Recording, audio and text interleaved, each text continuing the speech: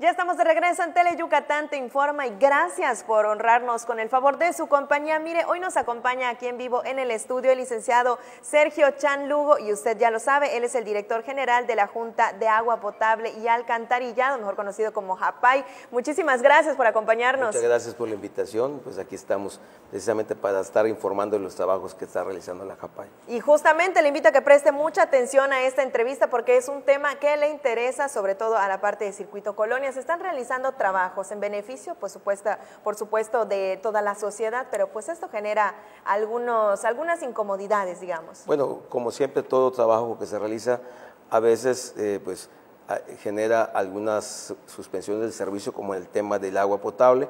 Eh, la JAPAI está trabajando de manera eh, muy organizada, de manera muy esquemática, eh, hacia objetivos como nos ha señalado el gobernador Mauricio Vila. Lo que nos ha pedido el gobernador es, seguir prestando un servicio de calidad a todos los usuarios de la CAPAI. Y para que esto suceda tenemos que estar dando eh, acciones de mantenimiento importantes en la planta media 1, por ejemplo, que es la que vamos a realizar el 4 de septiembre, miércoles 4 de septiembre. Vamos a realizar acciones de eh, mantenimiento de la planta que siempre son el mantenimiento, acciones mucho más económicas y eficientes que reparar.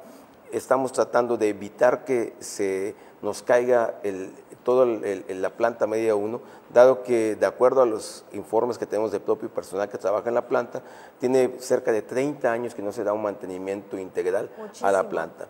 Entonces, tenemos algunos postes, dos específicamente postes que están a punto de caerse, eh, cinco postes más que requieren mantenimiento. Hay muchos eh, aisladores del sistema de alta tensión que ya están eh, caducos, es decir, hay que actualizarlos, hay que ponerles nuevos, son 69 aisladores. Tenemos que cambiar el propio medidor de la Comisión Federal de Electricidad y por eso vamos a trabajar coordinados con la CFE, es decir, se va a trabajar el miércoles 4 de septiembre, cerca eh, de 80 trabajadores de manera eh, organizada y planeada para darle mantenimiento a toda la planta media 1 y asegurar dos cosas. Lo primero, que en la próxima temporada de huracanes, que se nos, eh, en septiembre es cuando más llegan estos fenómenos a Yucatán, no vaya a ser que un tema como una tormenta tropical con un pequeño vientecito nos tumbe los postes y entonces implique eh, una suspensión ya no de horas, sino de días o de semanas en el servicio. Es decir, ese es uno de los objetivos y el otro es lograr un mejor servicio eh, para todos, un servicio con un manejo de energía eléctrica más eficiente. Entonces, esto se va a realizar el, el 4 de septiembre. Vamos a parar la planta de 9 de la mañana a 5 de la tarde para que se puedan realizar todos esos trabajos, todas las brigadas que te he comentado. Y bueno, ¿cuál es el área afectada? Es el área que está dentro del circuito colonias.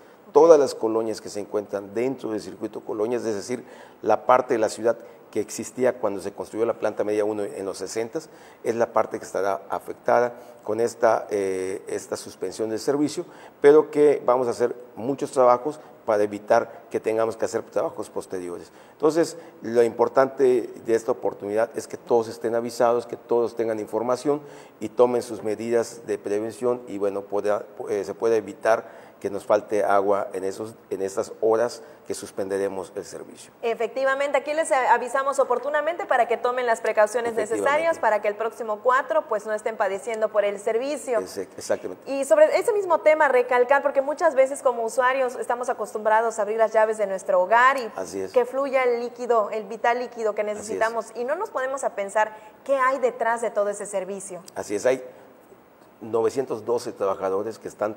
Eh, provocando que durante las 24 horas del día todos tengan ese servicio que tú bien señalas. Solamente uno va, hace una llave de su casa, la gira y tiene agua potable las 24 horas, 365 días del año. Eso es lo que permite que tenga un servicio de calidad el trabajo de todos esos eh, colaboradores y por supuesto que todo eso se financia con el pago oportuno de nuestros recibos de agua potable de la capa. Así que eh, gracias a ese pago oportuno es que podemos hacer estas labores de mantenimiento y las vamos a hacer de manera muy planeada, muy organizada, para que las molestias sean lo menos posible y el avance en mantenimiento sea lo más que se pueda.